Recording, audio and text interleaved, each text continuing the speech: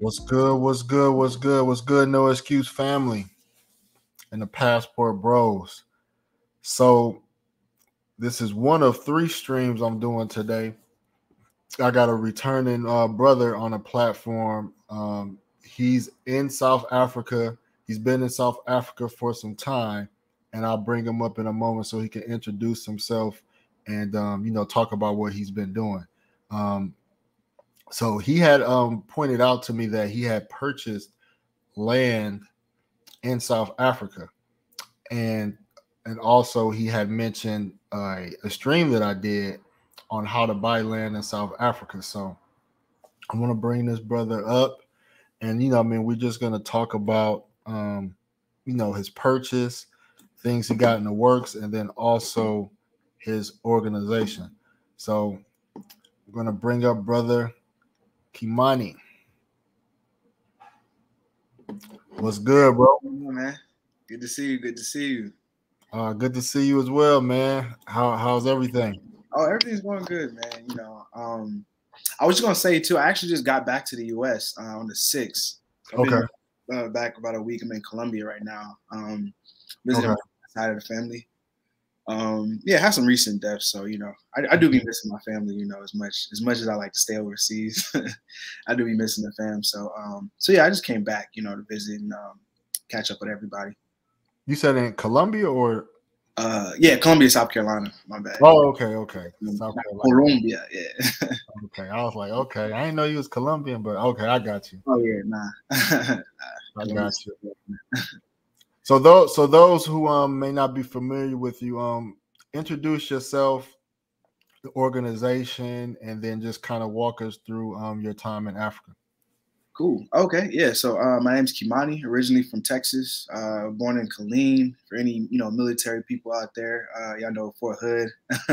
pretty sure y'all heard of Fort Hood. So um, pretty much grew up in Texas my whole life. Other than that, I lived in Cali for uh, lived in LA for two years. Um, I was was going to school out there. Uh, lived in Germany for about eight months. Um, before my dad went back to Afghanistan, and we ended up you know just going back to the U.S um while he was over there and then um yeah start so so early on you know my travel um my travel barriers were kind of broken like as far as like being afraid of culture shock and you know a change of scenery and that kind of thing so um yeah uh so at this moment in time the past i would say five years um yeah five years going on five years um i've been traveling abroad and um uh recently um I started a passion project called uh, Virtual Heart, which is what I'm wearing right now. You know, um, which is basically like a souvenir and a travel brand um, that I'm still trying to get off the ground. I would say, even though I'm like, I've been doing it for about five years now. You know, um, still trying to find. Um, I don't want to say like purpose, but like um, my lane, I guess I would say. But um, we'd like to make souvenirs that support self-sustainable projects, which is um, what we're moving moving into um, this year for sure. And um, recently, I've also became a member of this organization called the Ledge Group, which stands for Land for Environmental Development of Group Economics. Um, based here in the U.S., we have members from all over the diaspora. Um, we have uh, projects in eight different countries in Africa or across Africa, including South Africa. Um, there in the Free State, we have a uh, water filtration company um, which which also serves the community. People can come and get you know uh, fill up uh, bottles of water for one rand per liter. Um, and uh, we we have a brick making company there as well. And um, yeah, so I'm looking to for my brand to um, to support the projects that we're doing there and throughout the other countries that we're active in as well. Um, through you know coffee mugs, t-shirts, hats. I'm I'm trying to do everything eventually. You know. Um, so yeah, that's pretty much pretty much what I'm uh, what I was doing in South Africa for so long and why Free State why I was introduced to the Free State. Okay. um, you know, for my first time there, really outside of Johannesburg.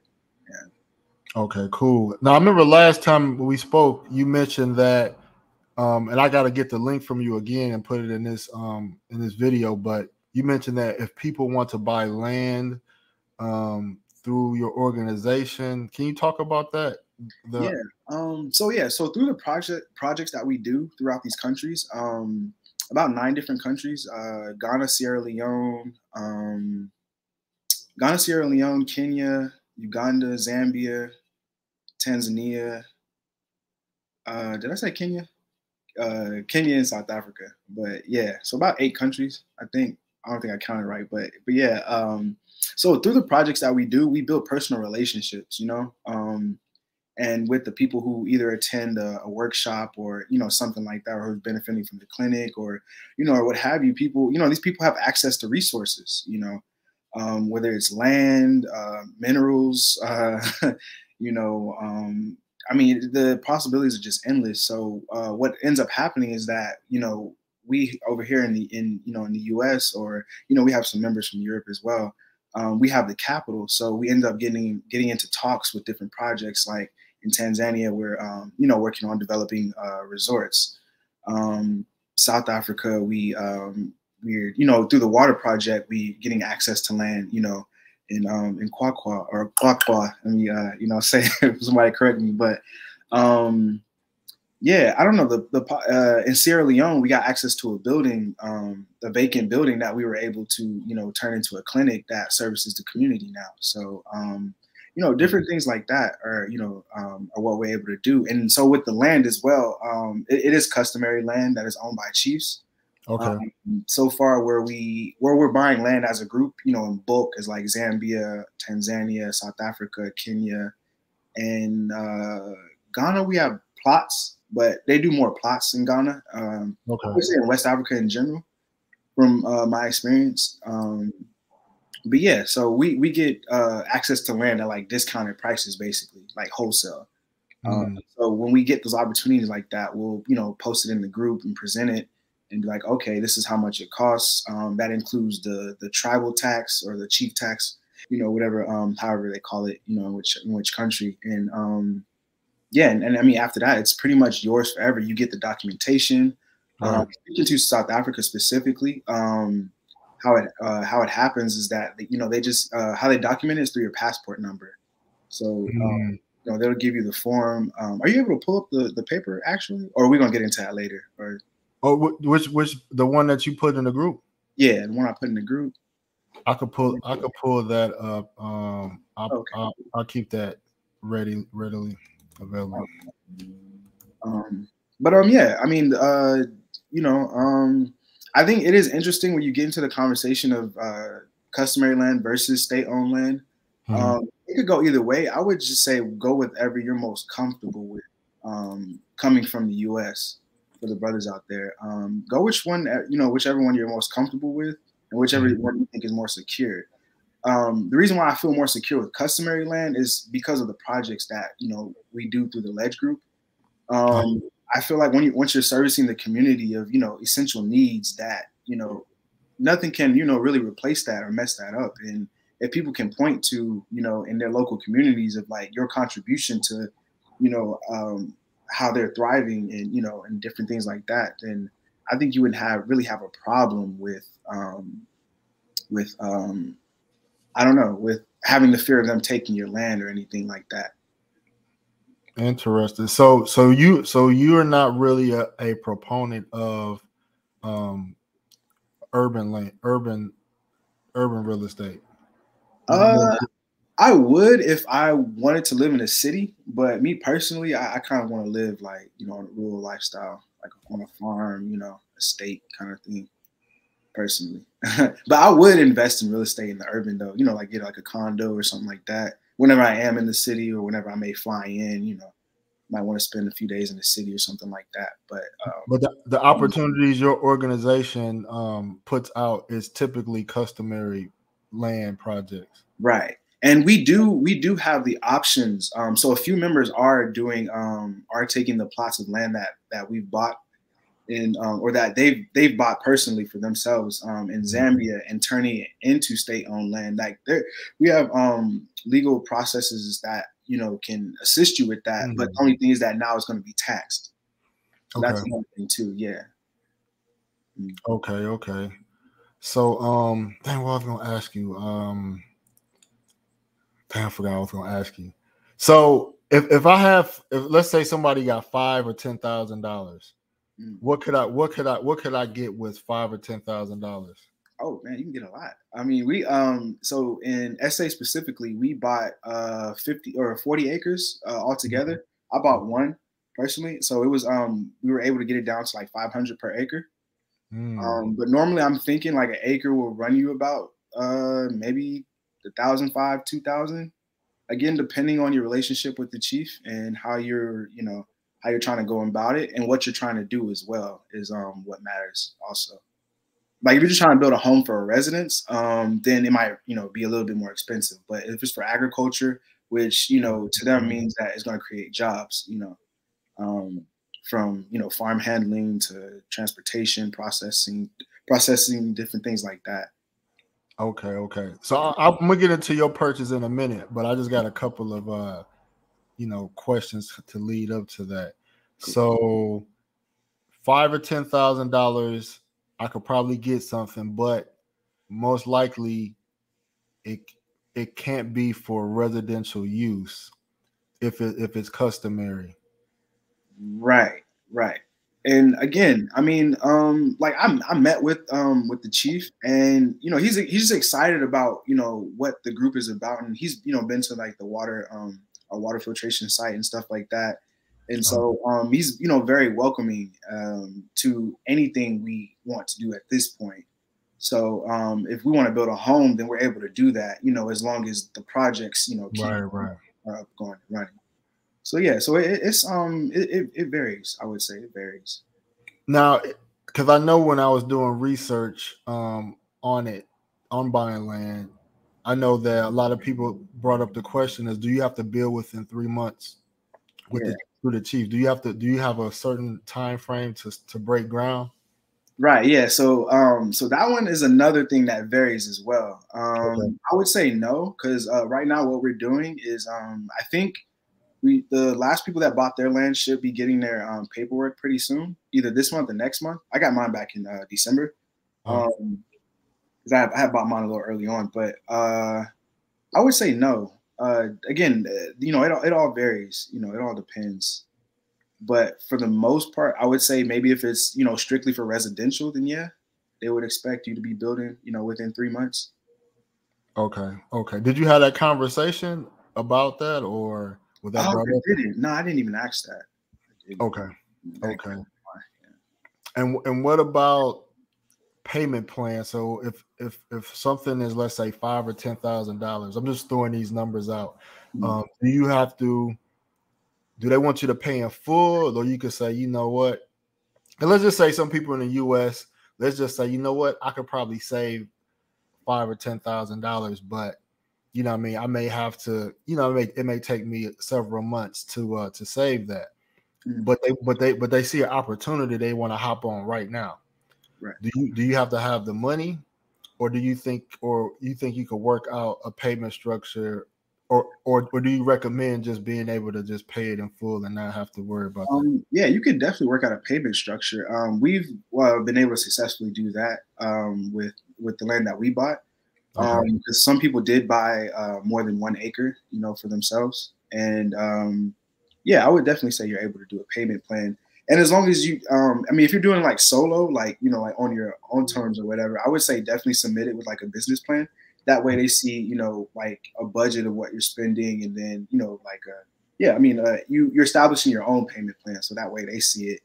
And um and so the way we operate we have a um, um what we call executive director which mm-hmm. is basically like a project manager so you know he speaks the language he's a local and um he's the one that works out all the deals and um basically brokered the deal like you know the 40 acres for 500 each. So um, so right, so he's able to you know do things like that. Okay, let's see. Uh, question uh, statement essay red pill buy land in Venda two. It's highly fertile landmass. Oh, where's that at? Yeah, Venda. Venda. Where is that? I never heard of uh Venda let us know where that is. Is that up near Mpumalanga or like Popo? I I'm not sure. Oh, okay. So hopefully, hopefully he responds to that. So um, I'll I'll I'll highlight.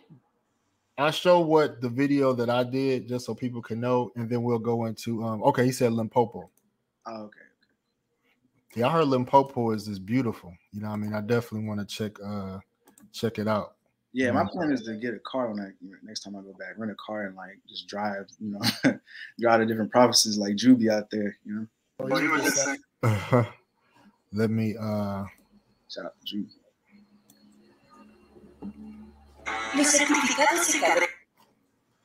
So yeah, so I had did a video um damn YouTube. So I had did a video on um how to buy land in South Africa which was a uh, very informative. And I know that you mentioned that you had um you had checked it out as well.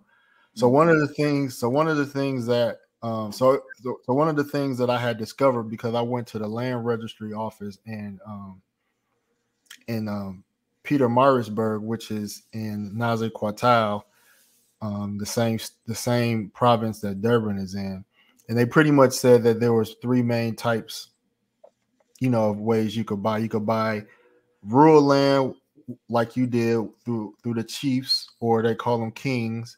And then there's there's a there's a association that governs the uh, you know those type of lands, and then you have land. Then you have land that's owned by the state, which is managed by each respective municipality. So whether it's Durban or whether it's um, um, whether it's something else, uh, whether it's Durban, whether it's Johannesburg, whether it's Cape Town, you got those municipalities that have those states, those state-owned lands that you can that you can essentially buy from the city. Mm. And then you have, you know, private, you know, private sellers that that's selling land and things of that nature as well. So basically, three primary, um, you know, um, sources you could buy real estate from through the through the kings or chiefs or tribes, however you want to um, coin it through the municipalities and then through private sellers real estate agents private sellers that that own land things like that so you bought land um through the chiefs through the kings through the tribe mm-hmm.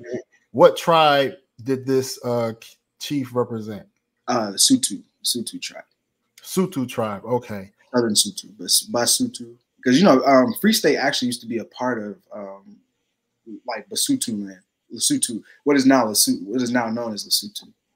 Um, okay. Yeah, yeah. So not, but now it's you know in South Africa. Yeah. Okay, so brother Kimani he bought land. Um, he he he, he bought land through a chief, um, Sotho tribe, and the the province you you chose was Free State. So those who don't know, um, South Africa has nine provinces, or you know, we would look at them as states, but they have nine provinces. Free State is not, I would say, not the most commonly known right, state. You know what I mean? Because usually people hit up South Africa, they hit up the top three. They hit up Johannesburg, which is in um, what's the state in Johannesburg? Uh, yeah, Gauteng, Johannesburg, which is in Gauteng, Cape Town, which is in Western Cape, and Durban, which is in KwaZulu Natal. So, um, so why why Free State? Um, for me, when I uh I, I spent a few days in Johannesburg, like four when I first got there back in December. Um, mm-hmm. I stayed in Sandton, and I mean it was cool. It just reminded me of the U.S. You know, grocery stores. You know, you know, white folks, uh, uh, supermarkets, um, the fast food. It it was cool, but like I don't know. For me, it just I just um I mean, as soon as I went to the Free State, I felt like you know I was in Africa. I'm not gonna lie to you, like, and you know, just the mountains and I mean, how the I mean, uh, QwaQwa is actually pretty big too. Um, it takes at least like 45 minutes to get to like where we bought our land to get to where like the water site is, the water filtration um, site. Um, so it's a pretty big town and it's growing too. And for me, I like to be, you know, like I like to be on the frontier and mm. um, I like to be a trailblazer, you know, um, on things like that. So I, I, see a lot of potential and like how it can grow like the next, you know, you know, 5, 10, 15 years, you know, what have you. And um, they're actually building like a petrol station um, near where, um, like on the other side of, um, like really like down the street from where um, our um, our project site is. So um, with that, you know, it's going to come like you know more you know more development, more shops. They might put a, a grocery store, you know, something like that down there next. And um, yeah, I just I just fell in love with it, man. The mountains, just you know, super peaceful. Um, yeah, you know, I, you know, once you once you've traveled a lot, you you know, been through a lot of mega cities and stuff like that. You you kind of just want you know something, you know. we got to be low key somewhere where I feel like I'll be comfortable raising children, you know, because I see that in the foreseeable future, you know, like like three to five years, I would say. Um, so that's kind of what I'm, you know, building towards as well. And again, you know, I'm not against, you know, urban real estate. I would love to have something, a condo or something like that in, you know, in Joburg or Cape Town. Or, you know, I just, this is going to take a little bit more time for me to explore and see, you know, see where I would like to do that at. But um, that's kind of my mindset for me. Um, okay, okay. So you chose Free State, and then how did you come about finding or knowing about this opportunity to buy land in uh, Free State? Where? Um, yeah, so that, that that just came through the group. You know, um, we've been active in SA for about uh, I would say three years now, since 2000 or four years, going on four years since 2018. Um, and I joined the group in December of 20 yeah, December 2020. So about a year now. So it um and before that I was doing, you know, like my own research and kind of um, you know, getting a feel for like what the group was about and you know, seeing how they move and how they operate until I felt comfortable enough to join. Um, so for me, it was um it was just kind of a no-brainer. Um, it was kind of a no-brainer for me and what I was looking for and know what I'm, you know, trying to build towards.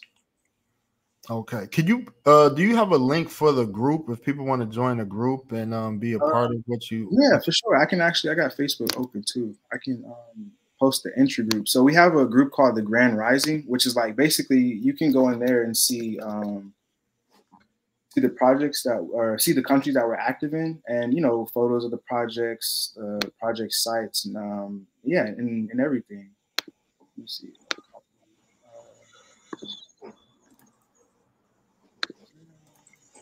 And you could just uh, if you can you could you could either copy and paste in the chat and i could repost it and um, make sure i put it in the description as well for the um the facebook group. So just those are just tuning in. So um he has a group. It's on facebook. It's a nonprofit right? Mm. it's a nonprofit and they uh, post uh, opportunities to buy land for certain different projects and um, you know, I asked them if you can, if you got, let's say, if you got five or ten thousand dollars, could you own real estate in South Africa? And you know, he said yes. Oh, yeah. So, um, so let me put the um, so here's the Facebook group for y'all to join. Um, actually, I'm a, I need I'm, I need to make sure I I I I join as well. And um, let me also add as well. Um, you know, uh, you can also um, buy land for, you know, for personal use and what, you know, whatever you want to do with it. Um, one thing we ask in the group is like, you know, whatever you would like to do with your land, you're able to do it. Um, we're looking to get into uh, hemp uh, production as well. So that's one thing that we ask, like when you when you buy your land, is like, you know, do you want to use it for residential or agricultural purposes? So that way, also, we know how to lay it out because the next step that we're doing, um, yeah. So what you're looking at right now is the um, is the paperwork from the traditional council, which is basically like the um, I don't know how how would you describe that? Like the um, is it like a is it like a is it like a transfer of ownership? Right. Or, yeah. You know? oh, no, this is indefinite. This is indefinite, like forever. Unless I mean, you know, you always have you, you I mean, you do. I mean, like the cons, right? Of of traditional land, and I would say with state-owned land too, you always have the possibility of your land getting taken or something happening, you know. Right. Um, like worst case scenario. Um, they do um so say this chief that honored that signed this, right? Mm-hmm. Um, say, you know, he, he, passes on, then the next chief comes along. Um, the chief will still honor that, you know. But I think there's always still a small percentage possibility that something could happen where they're like, nah, you gotta leave this land, or you gotta, you know, do this or do that. And I think that's possible with state-owned land too, with like a government change, regime change, military coup. You know, like it. You know, it's kind of just one of those things. But I would have more. I have more confidence in um, in knowing that you uh, you helped people. You know, hand in hand. Like it was a mutual benefit and not you know one way or the other. Well, from from from my research, you know, they do have a governing board. So, mm-hmm. you know, when you buy when you buy through the Chiefs, they have a um, what they call a trust, a land trust, and you know, there's paperwork and things um, around it. So, um, I believe that you do have protection because it, there is a, a entity or organization, you know, around that. But mm-hmm. um but I guess whatever stipulations that y'all line out before y'all sign paperwork, you know, that's that's what I would assume that you got that you have to stick with. And like some chiefs do have a requirement of three months to build if it's residential. Right. You know, and if you don't build with three months, then they can, you know, take back the land. You know, so I want to buy land, but I but I want to buy, you know, uh urban land. I want to buy land that that that is already um you know that that's part of the uh, deeds and registry office. That's registered. That's reg- basically registered land. Right. You know, with the government. So um I'm gonna go through some of these questions in the chat because uh, someone asked this question initially: How much, how much for rural land, or if you want to share how much that you that you purchase for your for your acre? Right. So I, I paid five hundred for my acre for one for one acre, five hundred, and so we were able to get it down to that price because as a five hundred what? Uh, five hundred uh, U.S. dollars. Okay. Yeah. So I was able. So we were. So we were able to get um get the price uh, down to five hundred because we were purchasing forty acres. You know, as a group. So then mm-hmm. once we do that, you know, we we make the post. We see, you know, um, you know, we did two rounds to give people a chance to buy land. Group economics. Go ahead, I'm listening. Yeah. When the second round came around, um, then everybody who was in the first round, if you wanted to buy more land, then you're, you know, you're more than happy, more than, you know, more than happy to uh, go ahead and, you know, partake. So yeah. So normally I would say the the rural land, if you per acre, would go for about if you were like just doing it like solo, maybe like a thousand five to three thousand, I would say um, through a chief. Um, private owned land, I'm not sure. I, I wouldn't I wouldn't know about the private owned land part, like private owned rural land. So so so this is group economics. You know what I mean? I like to hear. So y'all mm-hmm. got a deal. So you so you, you got a deal for 500 per acre, but you had to buy a minimum of let's say 40 acres. Um, I wouldn't say a minimum. I would just say that's like that's what the um what our executive director was able to work out. Okay, so the deal was 40 acres at 500 an acre. Right. You know, and so since since you could since you wouldn't be able to just purchase one acre on your own, you you put it out there for people to to uh you know I mean to get in on it and say we got 40 acres and you just decided that you wanted to buy one acre. Right. Yeah. Did the other 39 acre, acres get accounted for or get? Right. Yeah. Yeah. Yeah. We yeah we, we we've already sold everything, but um but I mean there's you know they land is is they got land on land so um after we get our so yeah my bad that's why I got I got sidetracked but um so our mm-hmm. next step is now getting a land survey so when we ask people if you want to use it for residential or agricultural uh-huh. Um, now we're gonna um, that's how we're gonna group it and separate it. So mm-hmm. if you mm-hmm. want it for residential, then you know we might you know put it over here, and then for agricultural we put it all together. That way, you know it's all you know uh, consecutive together. So residential might be you know one side, agricultural for the other. Or some people are even doing like you know half acre for um, for agriculture, half acre, the other half for uh, you know for a little home. So um, so yeah, so we're we're um working on getting the um land survey done. Um, okay. now that way we um you know get started with like irrigation, fencing, um that kind of thing. I mean, it makes sense. I mean, if you got a home, I mean, if you got a farm, you need you want to live on your farm, so you got to build right. something to live on. You know, I mean, which makes sense.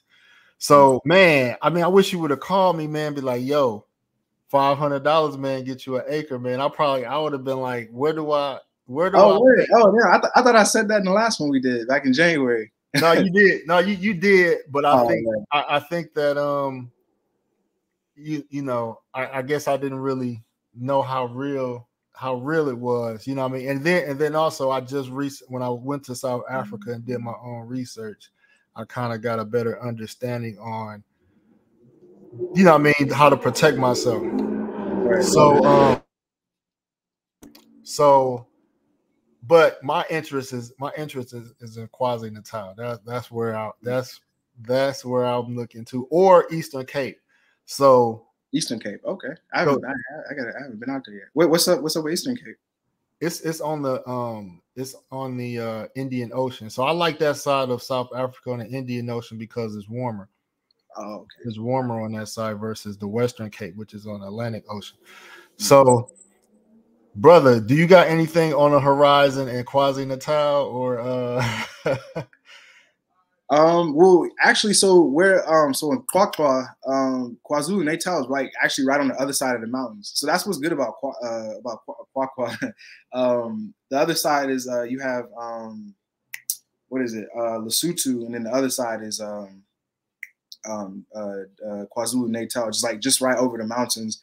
And um I got this video too where um where I, where my um where our executive director was explaining to me like kind of a little bit of the history and like how um like these mountains and stuff were like like um like Shaka Zulu, you know, was coming through these mountains and King Mm. The founder of like I was I guess I would say modern day uh, Basotho land, um, where you know we're having battles over the land and you know and wars and that and that kind of stuff and um and a bit of history of like you know the Boers that were moving that were moving inland and you know that were uh, moving into the Free State land and was just you know just kind of breaking down a little bit of the history. And so it's very interesting um to get an insight on that. But um yeah. Okay. But but but do you have any any any projects or or what do you or what's on the horizon or what is something that's an opportunity right now if if if there's any through your? Um, opportunity right now. Uh, we don't have any right now. Um, as far as Moreland, but you know, coming soon. I mean, like when I was, you know, met with the chief, he's like, um, you know, we have more. He was asking me, you know, do I like the land? Because I was actually the first, um, the first member from the U.S. to come and visit the land. Um, so I was the first one that he met with. So he's asking, you know, do you do you guys really like the land? And because at that point we had we were already, you know, uh, buying some of the acres. So he's like, you know, if you guys don't like, you know, over here, you know, we got land on that side, we got land over here. You know, he's just pointing, pointing, you know, stuff like that. And um, yeah, so I think once we get our survey done, then we'll open up another round of um of uh of, of uh you know of opportunity to buy land and um and yeah we'll you know we'll have that in QwaQwa but uh as far as uh KwaZulu Natal we don't at this moment but um you know I mean the possibilities are you know are endless. Like anything that we're able to um to get a um to get a hold on like if you're like if you have an idea you can post it in the group and we're able to you know build on that. Because if we don't if we don't know anybody directly then our executive director would you know. I mean if he doesn't know anybody directly that could get us access to certain lands then i'm sure if you know we could go to a chief or something like that in a certain area. And as long as i think we come with a project maybe a water project you know what i'm saying? Or maybe some type of um, you know in kwazulu natal they actually just went through like a really bad um, a really bad flooding incident. Yeah, I heard. I or um, you know maybe there's some type of um, relief project we could come up with or um, you know for water food or shelter or something like that you know because we also do have a brick making um, a brick making company there as well. So um, you know um, Hold that thought. Hold that thought. Let me go through the chat real quick because I got I got some I got I got some, a few other questions for you. So real Okay. quick, Harvey asked about a certain time to develop land within a certain period. So I could just I could answer this question.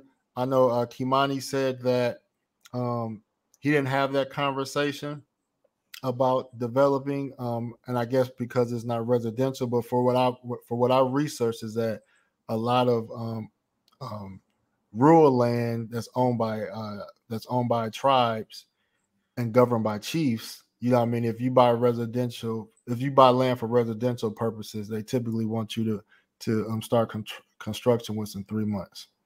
Right. And, and also I'll just add um too, it, it all depends on, you know, um so so since we have the projects that we are doing, um I don't think there's really like a time limit, you know, on what we're doing. As long as we um give him an give the chief an idea of, you know, a timeline, at least they know, you know what I'm saying? Um I think you're you're you're good. But generally, if you're just strictly residential, then yeah, they do have that 90 day um that 90 day uh limit or time limit. Okay, the man said we can start our own neighborhood. oh yeah, thanks. Yeah, yeah, that's what we're doing. Um, so we're also doing uh, have bought uh, land as a group in Tanzania as well. Some uh, traditional land that we're looking to do a um, you know a small community like Black Wall Street, something like that. Okay, I think we answered this question, brother Harvey. Let me know if if if we have it. Oh, has the land being distributed? Oh, okay, yeah. So we so we bought it as a group. So we get the we get the wholesale price as a group first. Like we mm-hmm. get the proposal first, and then we go to and then we present it to the group, and then we we get you know, um, you know, once we get the price, then we say, okay, you can buy uh, an acre of land at this price. Whoever wants to buy, you know, first come, first serve. Okay, so how do you guys um section the land since because I'm pretty I'm I'm assuming they're selling it as a big plot and you guys right how are you how are you guys sectioning off each acre oh, okay right so yeah so that so now that we have like a, like a deed you know like what we're looking at right here the uh, the deed from the traditional council um after we get the land survey done which um which I learned that uh, chiefs don't typically uh, help with land surveys. Um, mm-hmm. So that's something you got to outsource. So we're currently outsourcing that through, you know, um, someone from the uh, a company from the municipality that'll come out and do it. And then once we get the survey for the whole plot, then we'll divide, you know, the acres um, amongst each other. Oh, okay. you know, how many or whoever bought how many acres, we divide it that way. Got you. But do, did you select the the the, the I guess the area of the plot that you wanted or the- oh yeah yeah yeah oh yeah i got mine oh yeah oh, okay. yeah actually the picture that you have with the small house on it mm-hmm. yeah that, that's the one that i chose okay yeah i'm like i want that one because you know it's like nice and flat yeah, this one right here. Oh, let me go back. Right here? Yeah, yeah this one right here. Okay, okay. I got what you're saying. Wow, wow, wow. Okay. So yeah, after the survey, then I understand you could get the uh, you know, the documentation on who who owns what or things of that nature. Um, does it matter if the group entity is incorporated abroad? So um, you buy it as a group or individual? uh, we bought it as a group. So we also so we have um, so the um, the Ledge Group is uh, we do have an LLC here in um, in the U.S. And mm-hmm. then once we start uh, a project in the country, we partner up with a local, you know, aka the executive director, and um, we also incorporate in that country as well. So that way we we do set up a way of legal recourse of, of uh, for anything that we do for buying land, um, certain projects or businesses. Um, yeah, that we may that we may do. Any venture that we may do, we have a legal entity set up for it. Okay. Um, this is a little off topic, but I know that I, I've seen brothers come together to do projects, and then unfortunately somebody died. So, mm-hmm. do y'all have a uh, process if something happens? If something happened where the family is notified, or proper ownership is transferred. Have y'all ever had those conversations? Oh, right. Yeah. So, um, so we do have those conversations actually pretty often. Um, we mm-hmm. are able to, so members of the organization are able to put, um, maybe put in a note that, you know, if anything were to happen to me, then I would want to pass it down to this person if you don't have any offspring. Mm-hmm. Right. Okay. We, we do, we do have those conversations. Okay. Um, Trader Man asked a question Is Free State by Eswatini or so Sotho? Oh, oh, Lesotho. Oh, so it's it's right, it's right on the um the border of Lesotho, actually surrounding like the whole the whole northern border, like northern and like western border part of it. But it's about five uh five hours drive from Eswatini, as is, and it's like right in between Joburg and Durban too. So I kind of like that as well, like the the location of it. It's a four hour drive from you know this way and that way. Okay. Um, do you got did you guys calculate any cost of construction yet? Uh, we did not. We did not. Um, but that's one of the things that's going to be um, included when we do the survey because we're also going to have to. Um, so it's right. So the land is like uh, maybe 500 meters from uh, from the um, what's the name of that border? Uh, from a border post into Lesotho. It's not mm-hmm. currently open due to COVID, and they're also doing road work on the other side. But the mm-hmm. road leading up to it is like perfectly fine. Um, okay. But it, uh, but we're gonna have to build like another road leading off to um, going towards the land. There's like already like a walk pathway that somebody built because I mean, as you can see, somebody used to live out there. So, mm. but I mean, it's uh, no longer anybody living out there. So there's a walkway path, but eventually, yeah, we're gonna have to, you know, build a road. But that's something that we're gonna get in, inside the budget once we get the um, survey done. Wow, wow. Somebody said crazy internet said, What kind of animals is out there where you bought 40 acres? oh man, yeah. I'm, I'm trying to the first thing I'm gonna get when I get my fencing out, I'm getting some goats and probably a horse. is there any wildlife? Um, is there any wildlife that's kind of out there that you know about? Um, that I've seen just uh this thing called a springbok, which uh you I, did you heard of springbok when you were out there? No, I guess it's no. kind of like a um would be like a deer, like a moose kind of thing. Mm-hmm.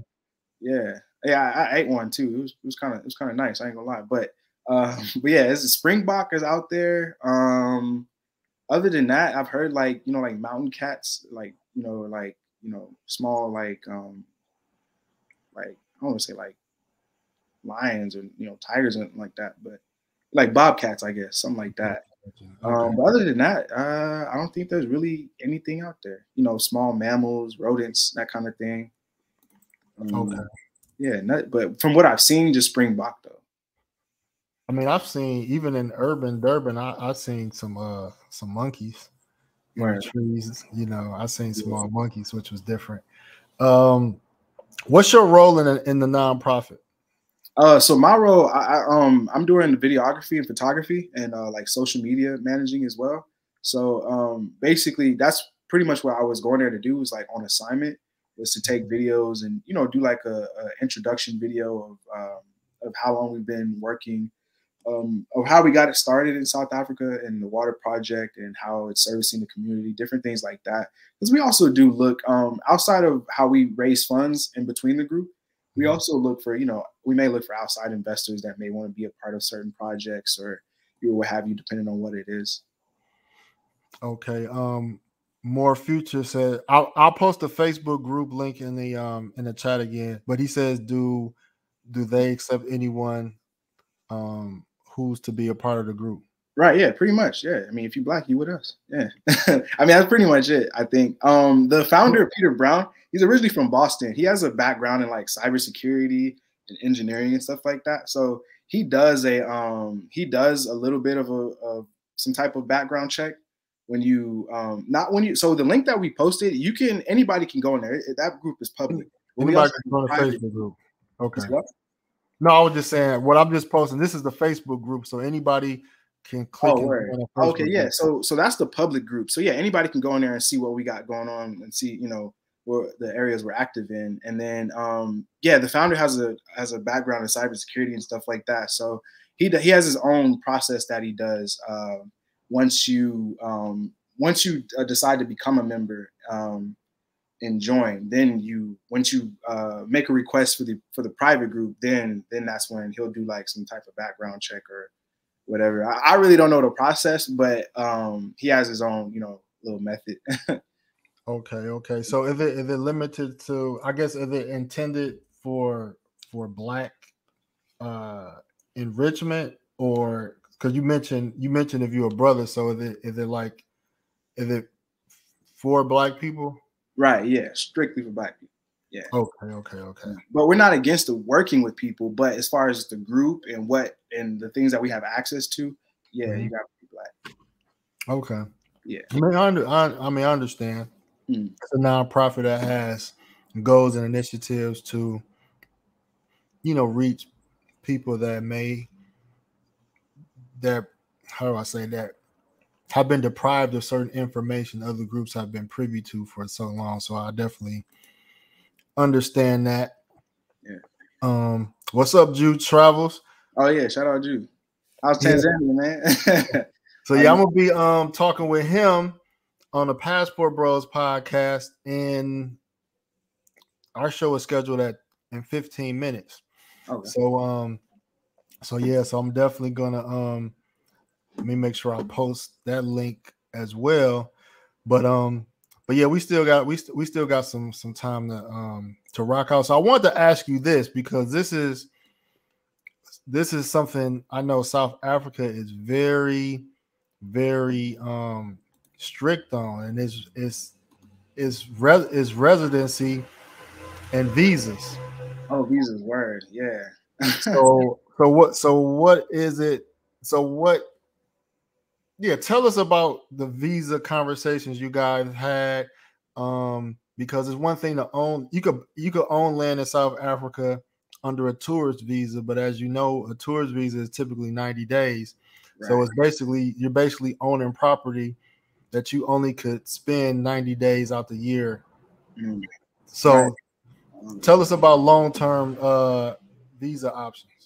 Right. Okay. So for me, I've just been on on a tourist visa um, for the time that I've spent there. Um, collectively, probably about like four months. Um, I was there from December to February, then went back in uh, like over for 420 and stuff, and then just just got back to the U.S. But um, yeah, that's something I've been thinking about too. And for me, I'm not married, I have no kids, so um, I, am thinking my wife gonna be from South Africa. To be honest with you, um, okay. especially for for what I want for the projects that I want to do in South Africa, it's somewhere that I see myself being long term.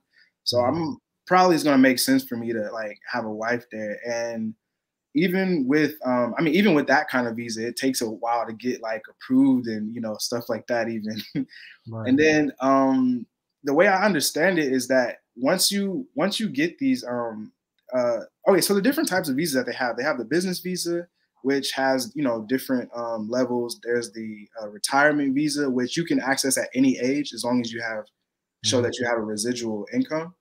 Um, that's at least I want to say I think it was two thousand five hundred, um, like thirty seven thousand rand.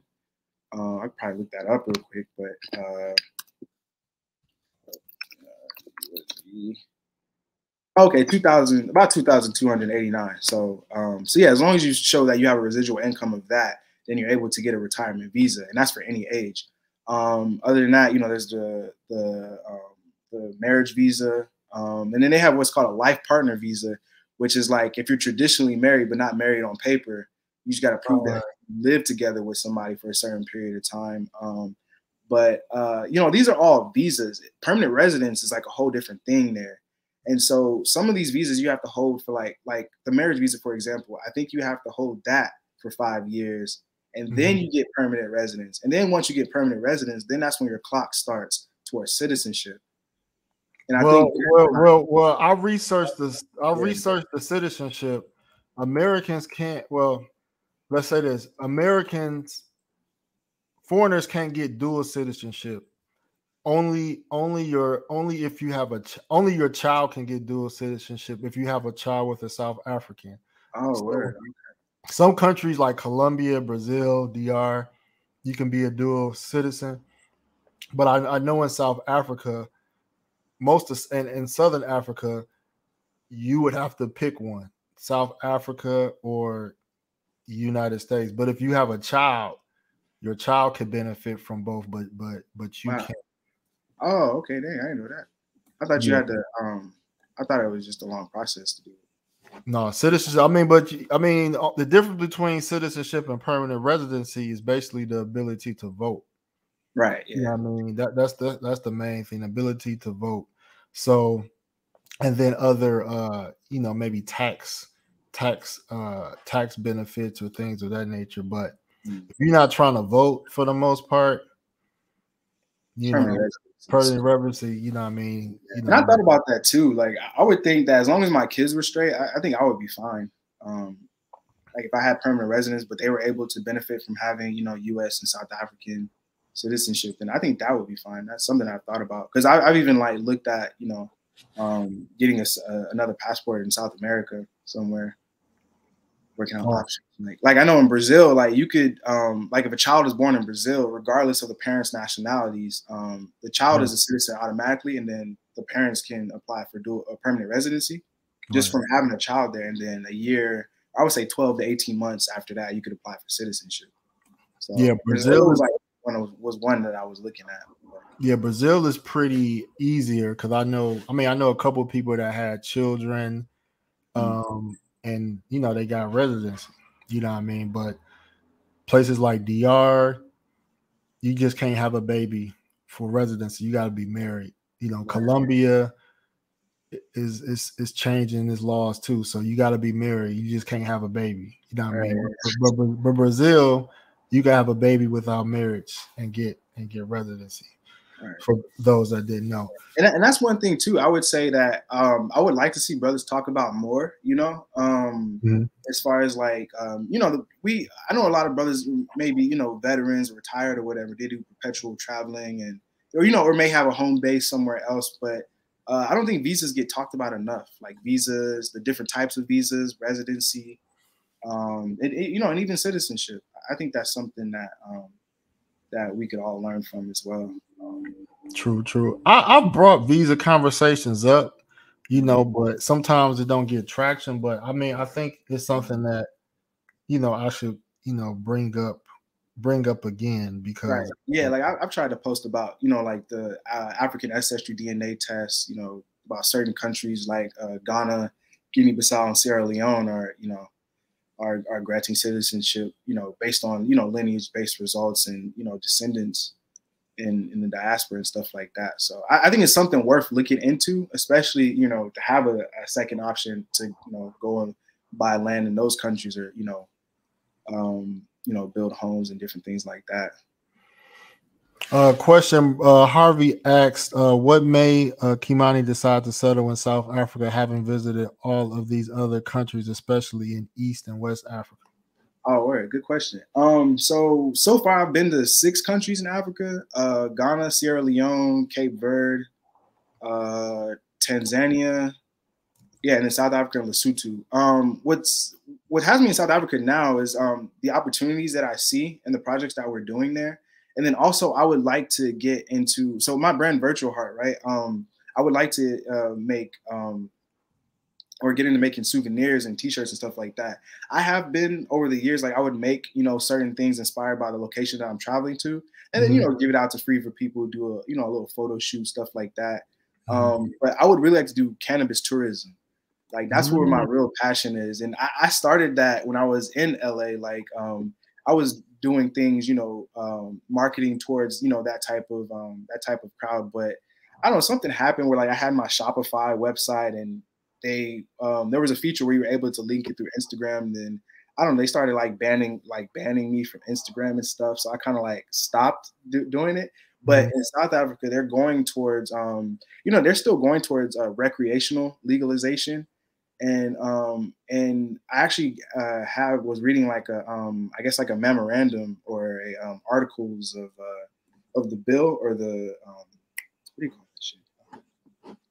I don't know whatever they they come up with to detail everything that's going to happen in this bill when they pass it, and it covers you know recreation and um, cannabis use for tourism and different things like that. So they're trying to open up those markets, and the crazy thing about it too is that there's already companies that are doing things like that especially mm. over 420, there was like things in Cape Town they were doing called like a Kush cruise, you know, where they were having bud tastings and different things like that on a cruise through, you know, around the Western Cape. Um, so I would love to get in and do something like that, and then eventually relay that into doing a resort, um, a cannabis-friendly resort where we can do wellness retreats, um, uh, yeah, different things like that. So that's where my real like long-term goal passion is is in cannabis tourism. And right now, South Africa is like, you know, number one in the world, I would say, um, mm. leading that as a country as a whole. Wow, wow, wow, man. Man, you you you uh you gave a lot of information, man. Um, I definitely um encourage people to join the Facebook group. I just did. Um, there mm. are fi- there are five questions that you got to answer before uh I guess you could get approved in a group, but they're pretty pretty straightforward. Um, I'm interested in KwaZulu Natal or um, you know Eastern Cape. So that's something you said I could kind of maybe pose a question or right, or even you know be the be the um the, be the trailblazer in, in that side. You know, because I mean it's all it's all up to what the members want to do. Like we have things we do as a group, and then there's things you can do, you know, essentially yourself, like things you can, you know, bring to the forefront and kind of lead. Like, I, I mean, man, we there's all types of opportunities. Um, you know, we yeah, like we, you know, we have a we have a coffee uh, plantation in Uganda, so we have a member who's mm-hmm. in charge of like um, wholesaling the coffee. So different members who want to sell the coffee in the U.S., you know, we have access to wholesale prices, you know, that we can get, and you know, the whole shipping thing, you know, ship it directly to you, and then you know, the coffee that you sell, that's that's you know, that's that profit is yours, you know. Wow! Wow! Wow! So uh, an idea I have is that I had put it in the Facebook group, but I didn't get a lot of traction. But I wanted to do um I want you know a warehouse is always good because um a lot of imports come in and you know people may not have a place to store them and so I want to build I want to be able to build just empty warehouses where people could lease the space um you know for incoming freights that come in or um or trucks that come in, but it, ha- it would have to be in a strategic location because you know for trans for transportation routes. But I would definitely I definitely want to um do a project like that. So I definitely um you know put it out there and you know maybe and you can talk to people about it as well. Um, You're in the U.S. I, now, right? Yep, I'm in the U.S. right now. Oh, okay, where where are you from in the U.S.? I'm originally from the Midwest, but right now, but I'm in Philadelphia. Oh, nice. Okay, that's one of my favorite cities in the U.S. I ain't gonna lie. really? I love so I got about two more minutes. So um, two questions. Uh, Harvey said, "Oh, he asked me, you thinking of setting up cannabis business in Colombia?" I'm not doing any business in Colombia. My the only thing in Colombia is my is my wife, and I'm trying and I'm tr- and I want us to live in South Africa. how does you know um, uh, if you don't mind me asking, how does she think about Af- South Africa? Like from what you tell her and stuff. I mean, she's excited. I mean, partly because she's Afro Colombian and she embraces being an Afro Latina. Nice. And you know I mean? And she sees that people that look like her. Word. Okay. You know I mean? So yeah, she's she definitely um is excited about it. You know I mean? And South Africa is, I would say, a first world country. Um but yeah, I we I definitely would want to partner up with him and then um, let me see, how can we buy coffee from Uganda?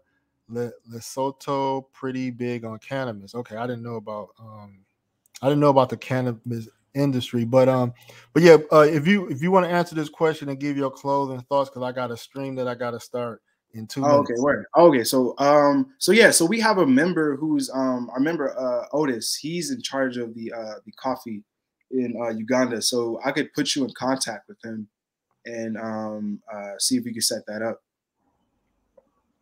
But I, I, think if you, I think you could. So if you wanted to like buy the coffee like at retail price, then we could, I could do that for you. But if you were looking to do like wholesale, then you would have to be a member in order to access, you know, that as a benefit. Okay. So I would say Harvey, join the Facebook group. The link is in the chat, and then you can probably proceed from there. Yeah. And then um, so I'm doing two more streams. So on the Passport Bros podcast, I just posted a link. I'm about to do a stream with Brother Jude Travels on Tanzania, and then back on this channel at 1:45 Eastern time, which is two hours from now. I'm going to uh, hopefully have some ladies from Botswana, and we're going to talk about um, Botswana. So, uh, can I add one more thing? My fault. Go ahead. Um, okay, so in order to become an official member of the group, there is a fee um, for single adults, for single males, right, or single adults. Uh, period. It's um, it is a thousand U.S. dollars, but that fee that you pay goes towards a active project that we have ongoing. It can either go towards an active project or maybe something that you would like to start. Um, so uh, yeah, so uh, a thousand for single adults, um, 500 for dependents like kids under 18. Mm-hmm. Um, and I think over 18 is like 750. Um, so yeah, so there is a fee to actually join the group, but the link that we posted is for um, is a public group. So that's for you to you know go through everything, um, ask questions about any country you may have, any project um, that we have ongoing. Um, get a feel for it because I got a feel for it for at least eight months before I joined you know. Um, so yeah, so I just wanted to make sure that was clear. My bad. I just want to make sure I mention that so that way when people say, "Oh, we got to pay," like, uh, yeah, I don't want to surprise nobody. But those fees aren't going towards paying anybody's bills. you know, okay. it's going towards yeah, um, an active project, buying land, equipment, um, yeah, stuff like that. All right, cool, brother. Appreciate your time, man. Thank you, thank you for having me. About to start the other stream on another uh on another podcast. All right, see you later. Thank y'all for tuning in. All right.